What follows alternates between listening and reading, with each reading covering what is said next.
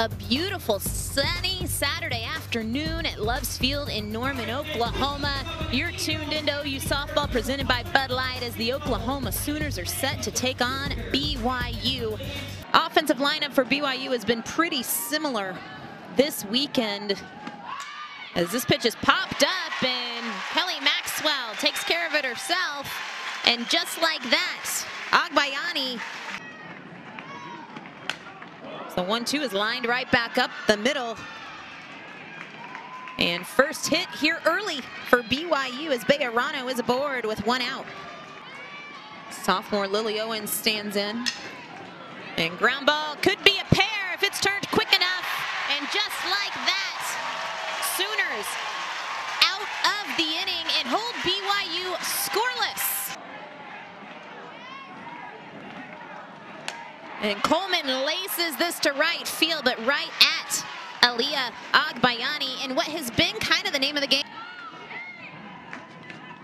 The 2-2 to Jennings is gonna loop in for a one out single. Jennings is gonna try to turn it into a double, and she does. Aggressive base running from Tiare Jennings and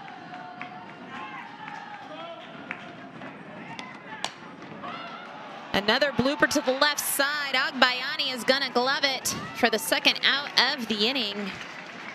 Dear Destiny, it was a very quick turnaround. So Parker back in the box, ground ball to the right side. Tiare Jennings is going to move up to third, and Parker is retired to now place two outs.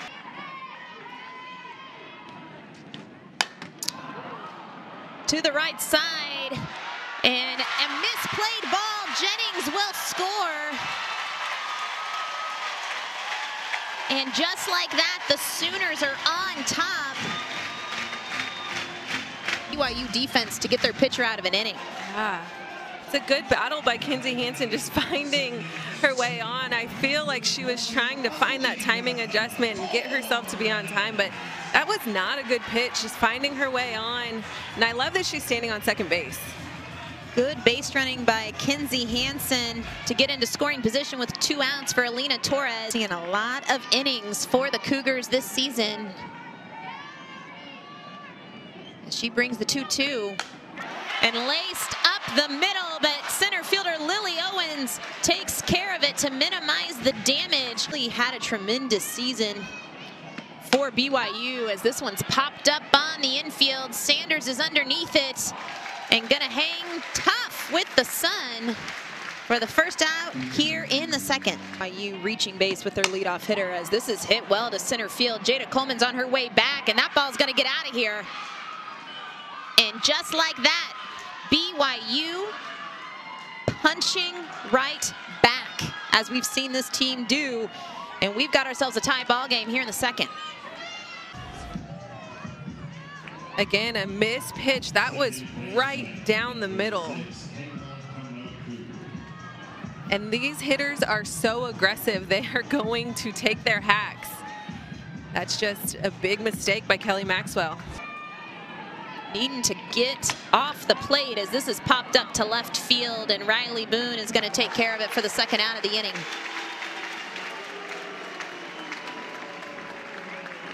As the Boone 2-2 is skied high to right field. Kasidi Pickering takes care of it. And BYU, something moving for the Sooners.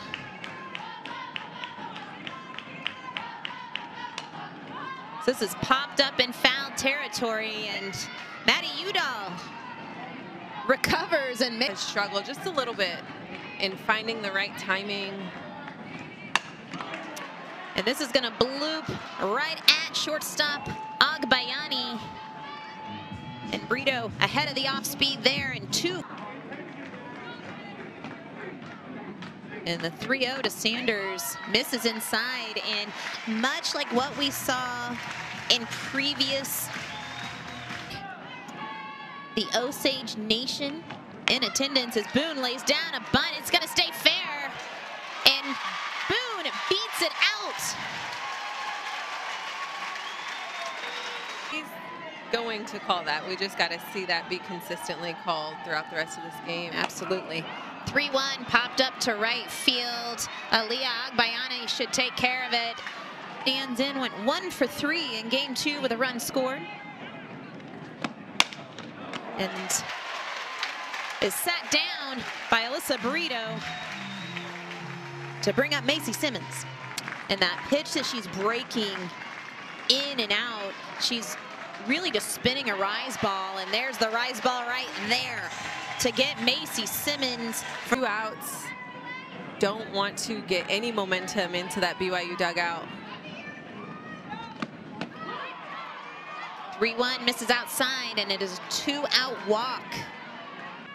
And Bejarano takes the pitch, and Agbayani takes off to steal second and into scoring position. And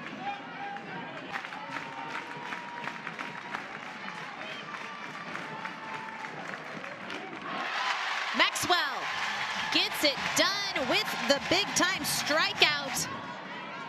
Inheriting a 3-0 count to Tiare Jennings here. And first pitch misses low to deliver the lead-off walk to Jennings. And Agbayani in the plate and Maddie Morrow, or excuse me, Haley Morrow, who started behind the plate is now at short as Parker. 2-2 right at Maddie Udall. Everyone retreats safely, but Udall. 1-2 is gonna get past Udall. Jennings rounds third, but is gonna stay put. And the single by Torres loads them up. Ground ball. Ava is going to get the force play at the plate. Not enough time to roll a pair, but huge out for Agbayani and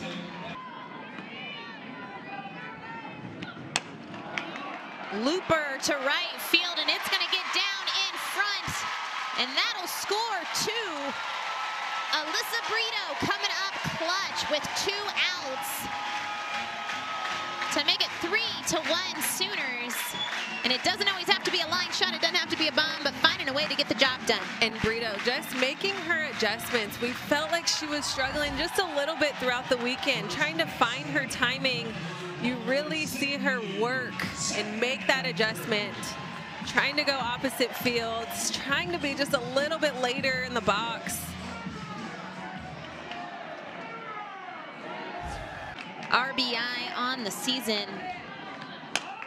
This is hit well to right field, but Agbayani is going to be underneath it to get the third out for her sister, who's in the circle. We go to the fourth. Out the inning. We've got to make sure that she is pounding the zone.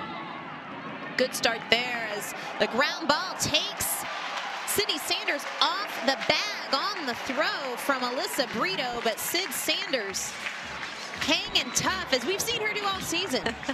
only, only given up two hits so far. Has walked one, struck out a pair. As this pitch is hit well to center field, but Jayda Coleman says no fly zone. A two run bottom of the second with a one, two, three, or excuse me, bottom of the third with a one, two, three, fourth inning. And looks like she may have done it as Brito fires it across. And Maxwell retires the side in game two.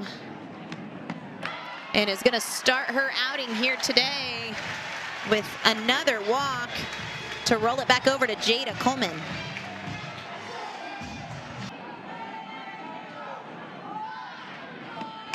Shows bunt, it's a beauty.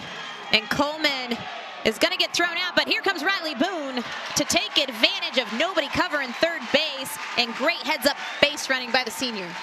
I love to see that. Taking first to third opportunities on a perfectly executed bunt. Leaving runners stranded and trying to do it here again in the fourth. As this ground ball is snagged by Kamoku. Riley Boone not able to go anywhere and BYU 2-2 ground ball right at Kamoku and Mares leaves another stranded. That is six left on base for OU. OU up three to one. Three, two. Another check swing, but a called third strike. Maxwell picks up her third K of the day. BYU does not let much go by. Ground ball, Brito's gonna cut it off and fire across to take care of the second out of the inning and uh, looking to retire her seventh batter in a row. Jennings fires it across and that'll be seven in a row. Retired for Kelly Maxwell. Lots of runs are being put on the board. And Hansen gets her first hit of the day as she rounds first, is gonna stretch this into a double as she slides in safely. And Hansen has a leadoff double to start the fifth. Left six runners on base here today. This is hit well to center. It's gonna burn. Owens out in center. Maya Bland will score. And it's an RBI single to make it four to one. Alynah Torres coming up clutch. A way to be a staple in this lineup. Seeing that ball up in the zone. Just getting her barrel on plane with that pitch. And center fielder Lily Owens and Destiny, you played the outfield. The ground ball right at Udall. Could be a pair, but not enough time. Avery Hodge is thrown out at second for the first out of the inning here. When you think about that, three of those have come in the last week and a half as this one is gonna get out of here in a hurry. Alyssa Brito have a day. It's a two-run shot for the senior to make it five to one. Oklahoma, or excuse me, six to one. Oklahoma. Numbers aren't my strong suit. It's to one here in the fifth. And that pitch was piped. I mean, you cannot afford to throw that to Alyssa Brito, especially when she's trying to work herself out of the at-bats that she had previously this weekend. She wants to be better. She was making those adjustments. She's trying to find your Saturday night pitcher. That kind of took a turn when you lose four of them. And could have Do something. popped up to the right side. Ali Agbayani takes care of it, and it's two outs for Jayda Coleman. Have struggled to work ahead. And it's a four-pitch walk to Jayda Coleman to bring up Jennings. With runners at first and second, two outs. And misses upstairs. And it's back-to-back walks to load the bases for Ella Parker.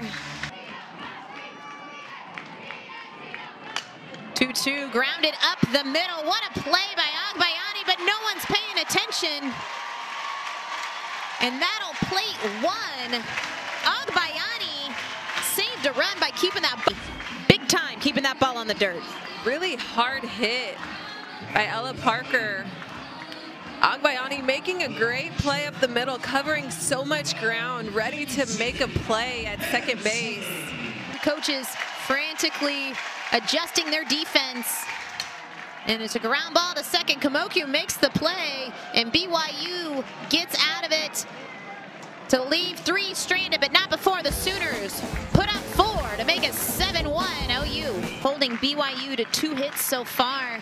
One of those a big one, eh, but really the only blemish on the day for Maxwell is the home run back in the second for BYU. As this is laced into right field.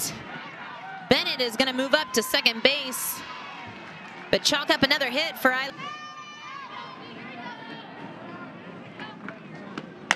Two one is lifted to the right side. Hodge is on her way back, but Hannah Coor calls her off to make the play for the first out of the inning.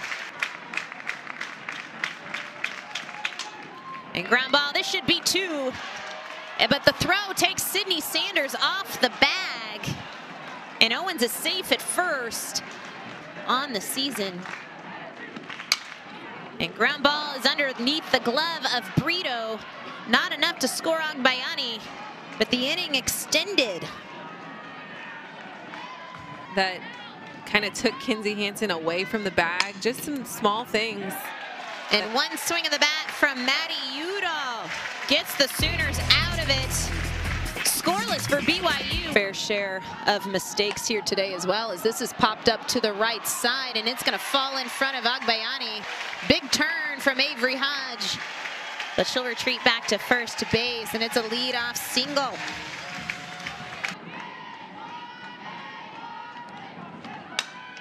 Ground ball up the middle. Kamoku flips it. Agbayani tries to turn two. And there's a pair for BYU.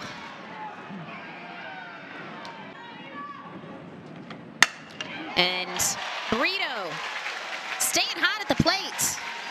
Make it a three for four day for the senior. That was an extremely hard hit. Rolling the pace um, in the way that they go about things as that gets away and Brito is going to move up to second base on the wild pitch. But this is and the 3-0 misses upstairs and it is a four pitch walk to Cydney Sanders to bring up Riley Boone.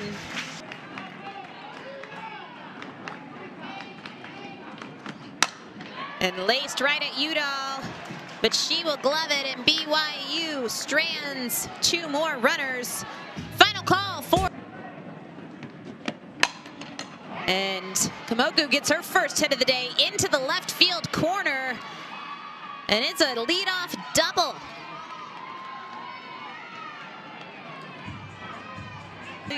Great command of those knee-high And speaking of commands, big time pitch to sit down Morrow on the Big 12 conference at scores and games that are wrapping up. We got a final in the Oklahoma State Iowa State game. The 1-1 is hit well to center field. Jayda Coleman is back at the warning track, and that ball's going to get out of here. Aliyah a two-run shot here in the seventh to breathe some life into BYU and make it seven to three. And you can't defend walks, you can't defend a home run, and that's what we've seen here today. And you cannot leave that ball right down the middle, up in the zone. That's just a pitch that can be sent out to show what they can do.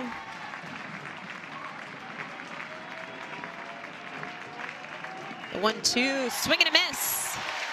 Kelly Maxwell sits her down, and it. Maxwell brings the 2-2. Ground ball up the middle. Hodge is going to have to be quick, and not in time. Agbayani beats it out, and what will be ruled an infield hit. And